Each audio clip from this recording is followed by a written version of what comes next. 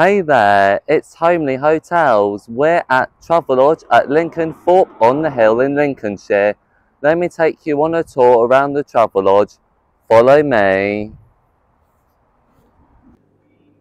Once you've checked in at the reception desk, you'll be given a key card with the room number on it. Then you head towards the rooms.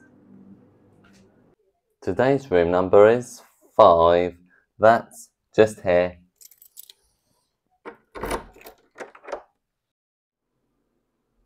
What's in the room? Let's take a look around. A big bed for two people. It's just me, remember? A TV to access at any time, day and evening. Aldi, isn't this a lovely shower and bathroom?